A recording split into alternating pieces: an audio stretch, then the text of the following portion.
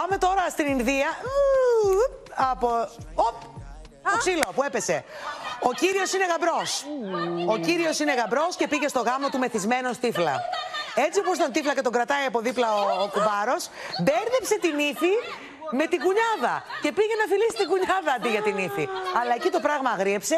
Η νύφη τα πήρε στο κρανίο, σου λέει ήρθες στο γάμο μας τύφλα σουρωμένος.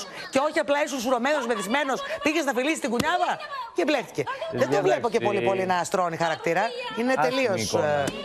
Άσχημη εικόνα. Και οι άντρες δέχονται βία να πούμε σε αυτό το σημείο, έτσι. Λοιπόν, δεν θα το πάρουμε παιδιά βαριά εδώ πέρα. Θα το πάρουμε ελαφριά. Μα εδώ έτσι. πέρα το- τον- Θα το πάρουμε ελαφριά με τον ποια έχει- έννοια; Με την έννοια του αστείου της υπόθεσης. Για να μην είμαστε σε όλο το political correct, να το πάρουμε λίγο αστείο αυτό, ότι είναι ο άνθρωπος μεθυσμένος και απλά μπέρδεψε. Έτσι.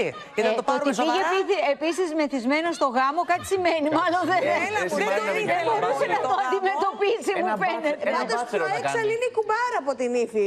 Η κουνιάδα, η κουνιάδα. Τελικά δηλαδή. Παιδιά, ένα μπάτσελο μπορεί να κάνει ο Το, το, άνθρωπος με σημα- τους φίλους το του σημαντικό προηγούμενο βράδυ. είναι ότι στις περιπτώσεις αυτές, παιδιά, πρέπει να έχουμε ένα γαμπρό, ένα γαμπρό, λέω, ένα κουμπάρο, ο οποίος είναι πραγματικά να είναι ε, η Μα φαίνεται ότι κολόνα. τα έχει τσούξει και ο, κουμπ, ο κουμπάρος όμως Ο εκεί δεν κουμπάρος τον cool. βλέπεις, δεν αντιδρά. Ο κουμπάρος δεν τώρα τον αντιδρά, ε. κρατάει, δίρτε τον. Vera.